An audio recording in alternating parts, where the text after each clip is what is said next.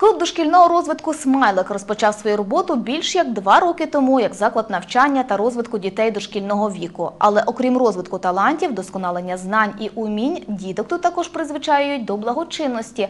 Так, виготовлення саморобок це не лише розвиток моторики рук і творчої фантазії, але й можливість створити добро. Це підтвердив благодійний ярмарок, який відбувся на подвір'ї цього дитячого закладу.